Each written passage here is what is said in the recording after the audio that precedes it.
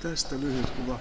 Tämä ei ole sen kummempi, mutta että se on Valtari kotona, niin se täytyy olla silloin Hesperian kadulla, siellä se patsaskin on. Ja, eli Helsinki-kuva on, ja tässä nyt näkyy oleva akateemikko onnittelemassa 50 vuotta täyttävää kirjailijaa, mikä on Valtari ja tämän kotona Helsinki 1958. Eli Valtaria en ikinä nähnyt.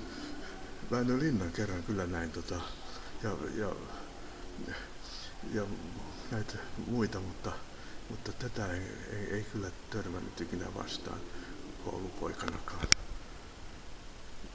Tästä ei sen enempää nyt tällä kertaa.